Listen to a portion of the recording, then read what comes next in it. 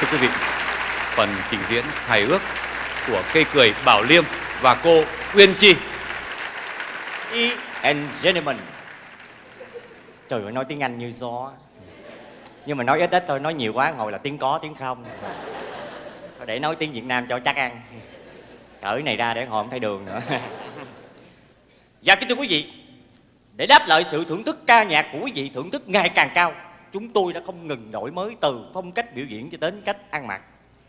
Như quý vị đã thấy, Bảo Liêm đang biểu diễn với quý vị một kiểu áo thời trang mùa hè thịnh hành nhất hiện nay. Nó có tên là Veston Salon. Dạ Veston Salon dịch cho tiếng Việt Nam có nghĩa là Veston Salon. Dạ nhờ cái kiểu thời trang này, Phần trên nó sẽ giấu được cái sự xấu xí của đôi vai Và sự lép xẹp của bộ ngực à, Nhưng mà phần dưới nhờ cái đuôi này Nó sẽ che lấp được được xấu xí của đôi mông. Nhưng mà nó sẽ làm nó sự nõn nà của đôi chân. Trời ơi so với chân gà chân Bảo Liêm đẹp hơn nhiều. Dạ kính thưa quý vị. Và bây giờ Bảo Liêm xin hân hạnh giới thiệu đến quý vị Một kiểu thời trang rất là thịnh hành năm 1900 Lâu lắm. Xin quý vị cho một tràng pháo tay đặc biệt Cho chiếc áo của nữ ca sĩ Quyên Chi.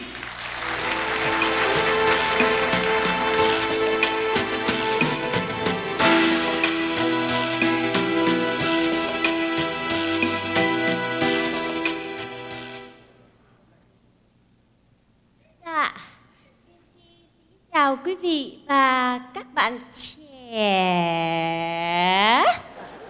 Trời ơi, trời ơi, nghe chào không thấy áp phê liền thấy không? Trời chào các bạn trẻ. À, cô à, có thể cho tôi hỏi là cô à, xuất hiện với chiếc áo này rồi cô cầm cái quạt gì, cái quạt gì nó có công dụng gì không? À, dạ, anh muốn hỏi là à, cái áo này á hả? À, cái áo này gọi là tên gì giới À, thiệu được cho quý vị quan khách biết coi. Dạ, cái áo này á người ta gọi là áo à, áo tứ thân ạ. À, áo tứ thân đó hả? À, Dạ. Sao ta gọi là tứ thân vậy? Ê, tứ ấy có nghĩa là bốn nha. À, Tứ thân ấy có nghĩa là cái áo này nó có bốn thân à, nha. nó có bốn thân.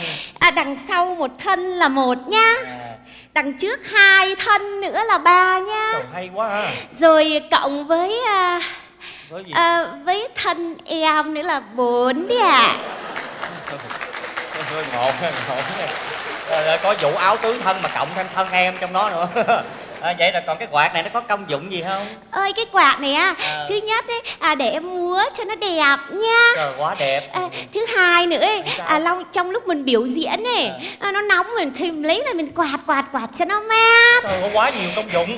Còn thứ ba nữa ấy, À, sao nữa? ê, là trong lúc mình biểu diễn ấy, Ờ. ê, nhỡ mình mà có quên lời ấy, Ờ. thì mình lấy cái quạt để mình che cái miệng lại để khán giả người ta khỏi biết ấy mà. Vậy hay Ê, rồi khi mà mình nhớ lời cái mình lấy ra mình hát tiếp. Trời ơi, trời ơi có cái quạt không có nghiên cứu kỹ lưỡng nghe. à, coi coi. Rồi còn cái khăn này có công dụng gì không? Nói luôn cho quý vị khán giả biết coi. Ở cái khăn này á, À. ê trong lúc mình biểu diễn này, mình nhảy nhót cái Ờ, gì, nhảy nhót. cái bụi nó bốc lên ấy, ê cái mấy là mình phủi bụi. Hay. Ê cái thứ hai nữa ấy, ê là trong lúc mình biểu diễn ấy, mồ hôi nó ra ấy, Ờ. cái mình dùng mình thấm mồ hôi. Trời chắc mai mốt mình diễn cũng phải xăm cái quá. Còn thứ ba nữa Ờ, sao? ôi cái điều này mới là quan trọng Ờ, nhá. Quan trọng sao? Quan trọng sao? Ê là trong lúc mình biểu diễn mình nhảy nhót ấy, Ờ, ê, hứng quá đấy mà. à, hứng quá. Ê, nhỡ mà có cái thân áo rồi nó rớt ra ấy, cái mình dùng cái khăn này mình lắp vô lại emergency mà Trời ơi, dữ dằn ha. Trời ơi, bởi vậy âu phục của mình là cái gì nó cũng có công dụng hết trơn á Tại mình không để ý tới thôi gì phải không? À, Được rồi, bây giờ cô có thể là cô cho các giả biết Giống như tôi biết là cô mặc chiếc áo này để cô trình bày nhạc phẩm gì không? Dạ, em mặc chiếc áo này. À. xin gửi đến quý vị nhạc phẩm với tựa đề rất ư phong phú phong và thơ mộng. Trời ơi, có nội dung đồ đàng hoàng đó hả Đấy, bài hát nói lên tâm trạng của người con gái vừa mới biết yêu. Ờ, Lần đầu tiên hẹn hò với một chàng trai trẻ trong một công viên tuyệt đẹp. Trời ơi, quá thơ mộng Ơ nhưng mà nè cô ơi, trời ơi cái chuyện này lạ nghe Trời cái chuyện hẹn hò là để đàn ông con trai người ta hẹn Mình bà con gái ai đi hẹn hò con trai kỳ vậy Chờ hoài không tới anh tới thì không hẹn thì mình phải hẹn chứ. Chẳng nhẽ ngồi đấy chờ anh hẹn à? Ờ, Thế bác tưởng em ấy còn trẻ lắm hay sao? trời ơi vậy mà nói cô gái mới yêu lần đầu. Trời ơi này chắc yêu lần bỏ yêu lần bỏ quá cho nên lần nào cũng lần đầu hoài á. Cái bác này Đấy là nội dung bài hát chứ đâu phải là em đâu. Không phải của cô hả? Em ấy. Sao? Em thì còn hãy còn uh, version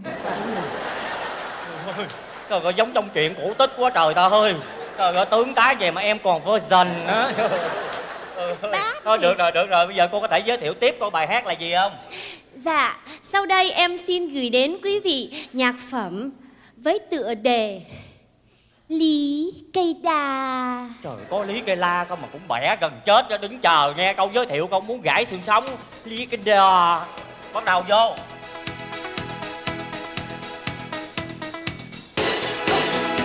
Trèo lên quan sông ngồi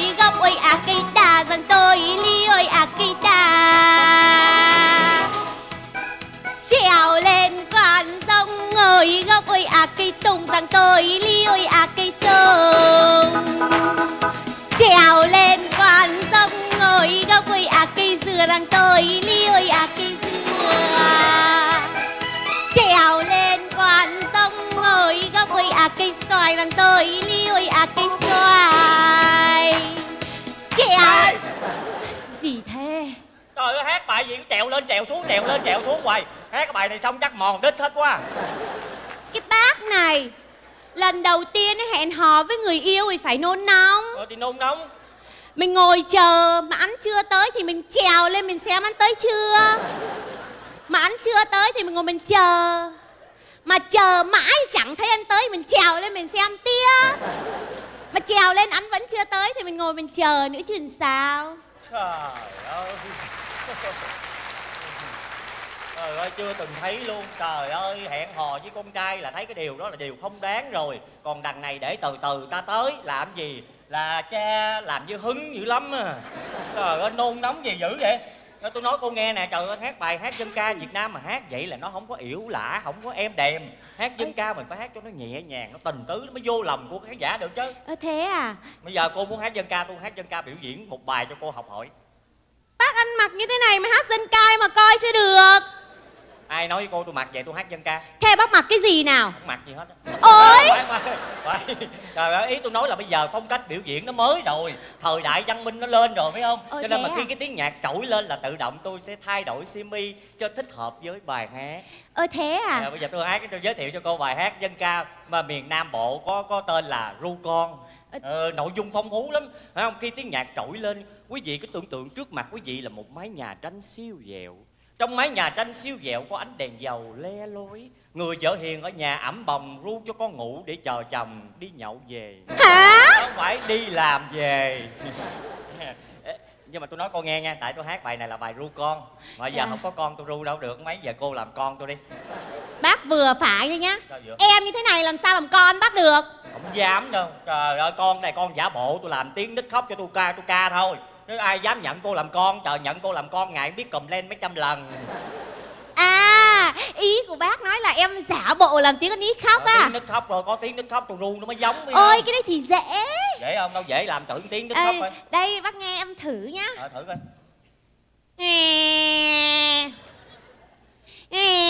Thôi cô ơi. gì thế? Nó không phải khen nha. Trời ơi tiếng tiếng khóc của cô giống mấy cái máy cưa cây quá à. Thôi thôi không được đâu. Khóc tao phải khóc ẻo lả tình tứ đàng hoàng khóc thì thấy ghê quá chị ơi. Nè coi tôi khóc là khóc là học học hỏi nè. Tiếng nó khóc trước khi mà nó khóc á là nó nó thèm đồ ăn hay gì đó nó mới khóc. Ồ, khóc có à? nức nở nghẹn ngào coi nó khóc nè.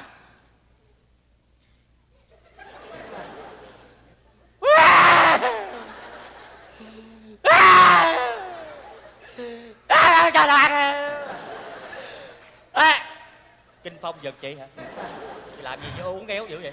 Bác khóc ấy à? Mà tôi mới khóc đó. Nói không phải khen nhá sao? Tiếng bác khóc giống như là tiếng máy hút bụi ấy. Ờ, bên cưa cây bên hốc hút bụi cũng vừa gì. Thôi thôi thôi được rồi thôi giờ cô hốc khóc nhẹ nhàng đi. Đó là tôi hát cho cô ke nghe nha. Khóc tình cảm ngọt ngào nghe không? Bắt đầu Vâng. vô nghe. Đây bài hát dân ca nam bộ ru con bắt đầu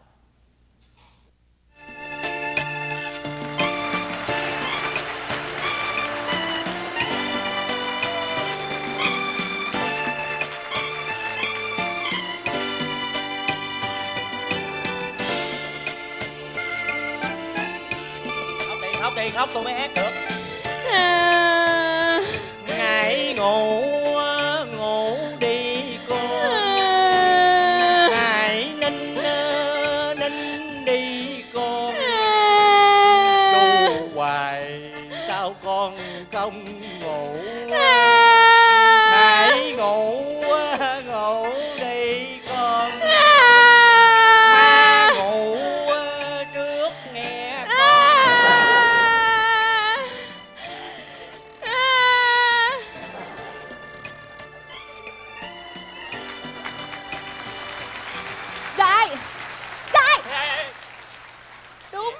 đàn bà độc ác sao độc ác Người đàn bà tàn nhẫn sao tàn nhẫn Du con con chưa ngủ đã ngủ mất tiêu rồi trời ơi nó mới mấy tháng tuổi ru hoài nó không ngủ tôi phải ngủ để tôi giữ eo chứ trời ơi chứ đàn bà con gái mặt mày để xanh lè xanh lét thằng chồng nó thấy nó quê nó bỏ rồi sao nhưng mà tôi nói con nghe trời ơi tại nó thể loại nó vậy đó chị yên tâm đi Ơ thôi thôi nhưng mà này này này này, này tớ, tớ hỏi à, Bắt mặc cái áo này kêu là cái áo gì thế áo này người ta gọi là áo dài khăn đóng. Ê tại sao là gọi là áo dài? Thế Ê, Khăn tại đóng. vì cái áo nó dài ta gọi là nó áo dài. Vậy dễ hả? giải thích quá trời Ôi, luôn. ê, cái này là của kiểu người miền nam tôi mặc á, mà con trai ưa mặc á. Còn kiểu à? mà đàn bà con gái thì người ta thích mặc áo bà ba. Ôi thế tại sao người ta gọi là áo bà ba thế? Thì tại áo bà ba là có cái bà ba mặc trước không? Người ta thấy đẹp ta bắt trước ta mặc theo nên ta gọi là áo bà ba. Ê hay nhỉ?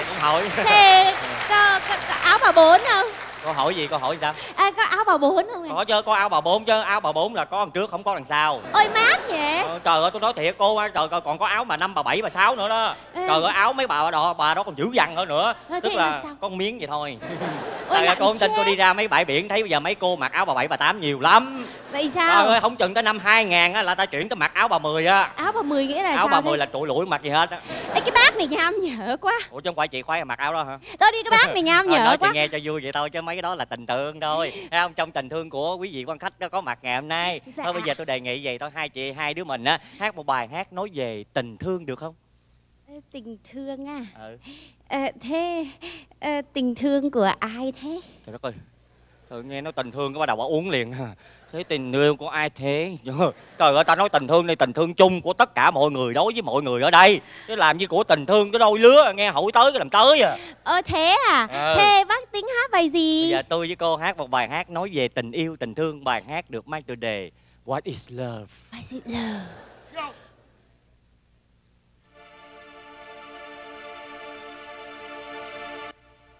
Mm, What is love? Baby, don't hurt me. Don't hurt me. Ui da.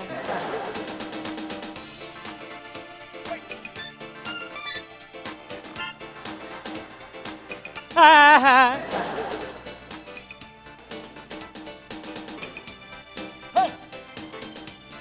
Công cha như núi Thái Sơn, nghĩa mẹ như nước trong nguồn chảy ra. Một lòng thờ mẹ kính cha cho tròn chữ hiếu mới là đạo con. What is love? What is love?